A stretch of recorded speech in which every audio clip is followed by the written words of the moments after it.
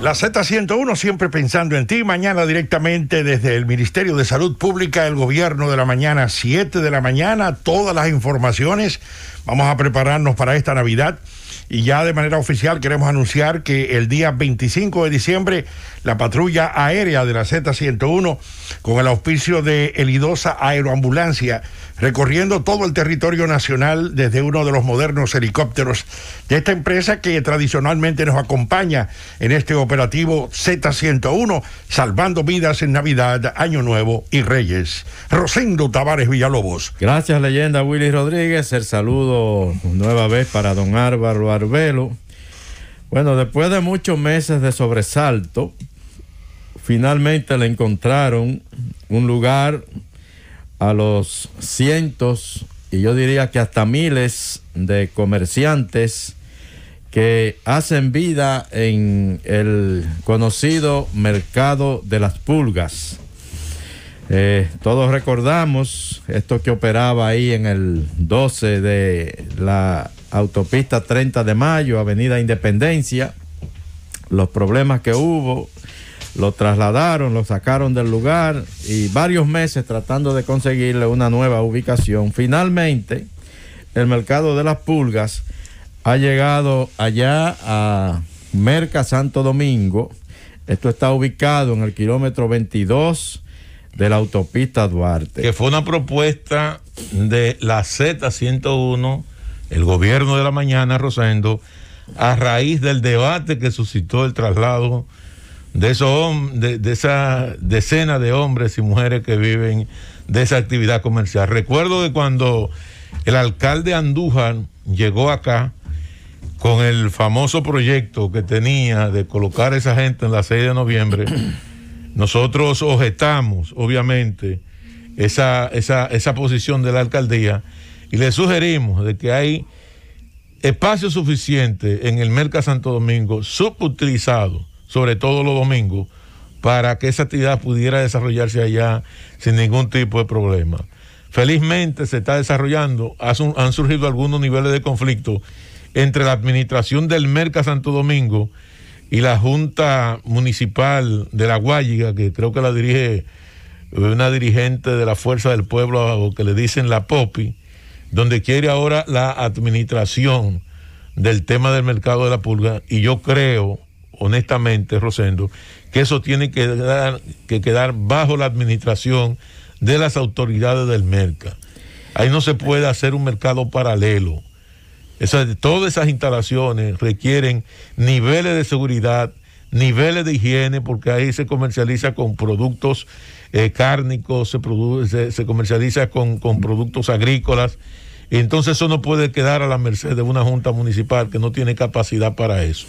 Entonces, como decíamos, esto está ubicado en el kilómetro 22 de la Duarte. Lógicamente, se necesitaba crear mecanismos de transporte para conectar a los clientes del mercado de la pulga con esa, esa zona ahora ya de eh, nuevamente de hacer comercio. Entonces, la Oficina Metropolitana de Servicios de Autobuses ha hecho un anuncio que yo creo que es importante y que va a resolver en gran parte esa necesidad se han creado dos nuevas rutas para los domingos, que es el día que opera el mercado de las pulgas.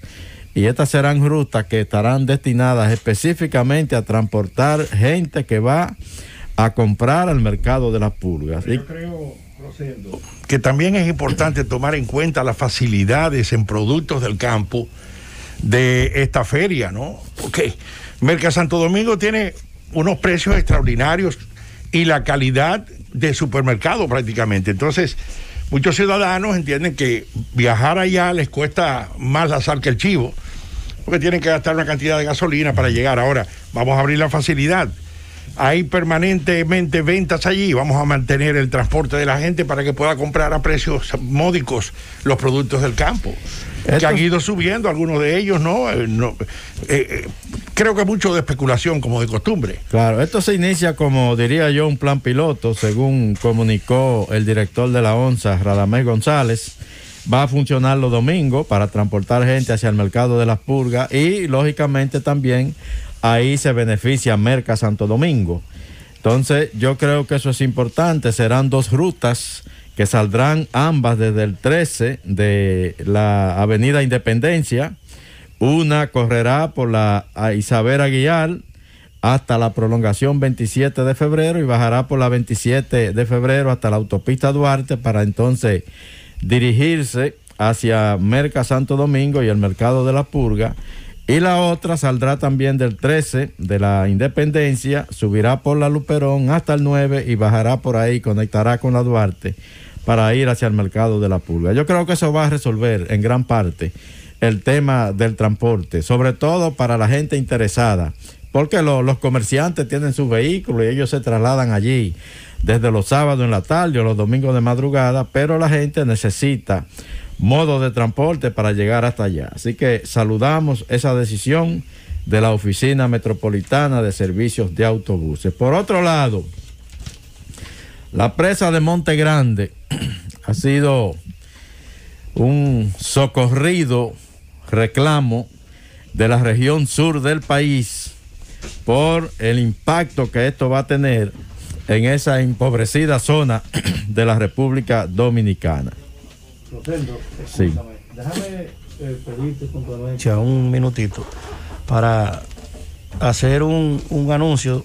Todo el que encuentre en la calle al ingeniero Luciano, dele un abrazo y dígale que desde aquí del gobierno de la mañana a su hijo lo felicito. Hoy está de cumpleaños mi padre, ah, el ingeniero Luciano. ¿Cómo se llama su padre? Luciano Díaz. Ah, dele un abrazo fuerte y dígale que desde aquí se le manda todas las buenaventuranzas y la renovación de su voto de fe, esperanza y alegría. Así que muchas felicidades para el ingeniero Luciano. Felicidades a mi tío.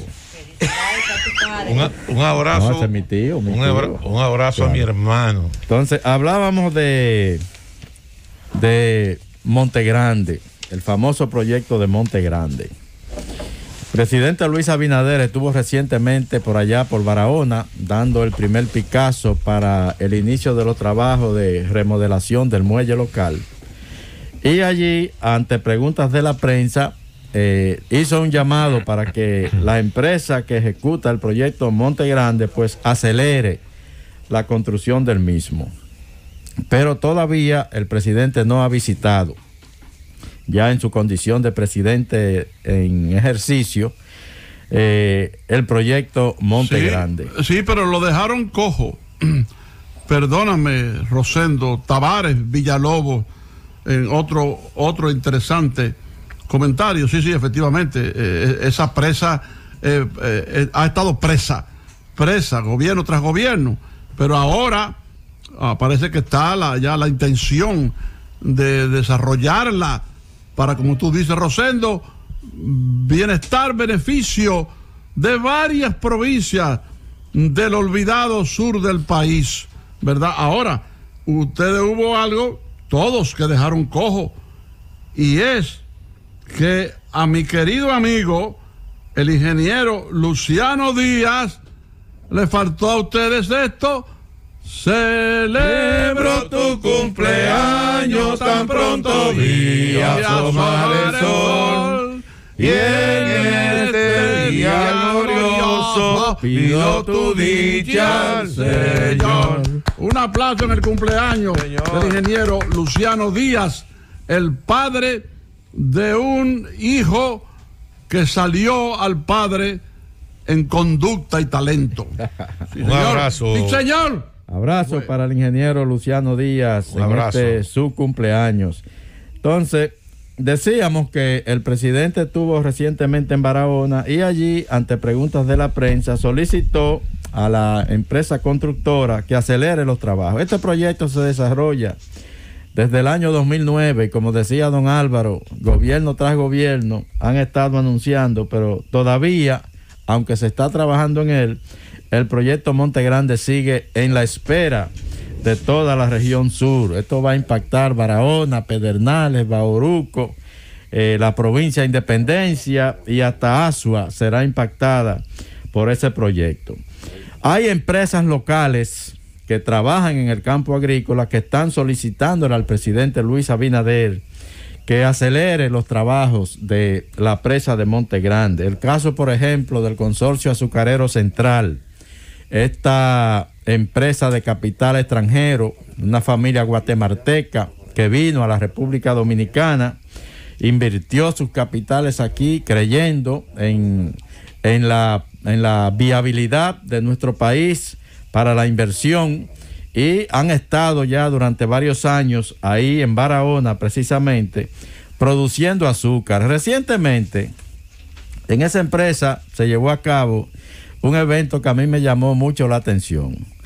Ellos eh, realizaron la entrega de unos fondos a parceleros de la zona a los que ellos le han arrendado terrenos que estaban baldíos, que estaban improductivos, y esa empresa, eh, construyéndole ella misma canales de riego, pues ha convertido esa tierra en productiva, por lo menos para la producción de caña de azúcar.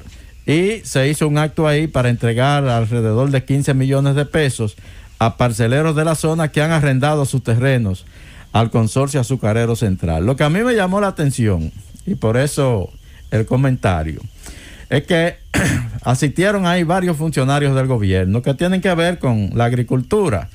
El caso de Leonardo Faña, el director del IAD, y el caso de César Cedeño, que ahora funge como director de bienes nacionales, pero que es también administrador general del el Consejo Estatal del Azúcar, porque el CEA y, y, bienes nacionales son ahora conjuntamente una sola empresa. Entonces, a mí me llamó la atención ver cómo un director del Consejo Estatal del Azúcar va a un acto, a un ingenio que el Estado Dominicano eh, tuvo que arrendar porque no era productivo para el Estado dominicano, para los gobiernos dominicanos.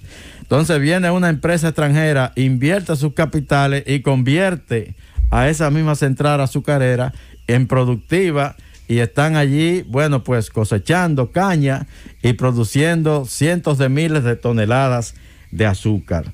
Entonces, el director general de una institución que dejó que los ingenios se quebraran, va a un acto. Sí, pero escúchame, escúchame. El director general de una institución que dejó que los ingenieros se quebraran. Bueno, el SEA. El SEA. ¿Qué es lo que el SEA hoy? No, el SEA produce azúcar. Pero quiero colocar. Un, sí, el SEA tiene algunos ingenios, pero quiero colocarte en contexto.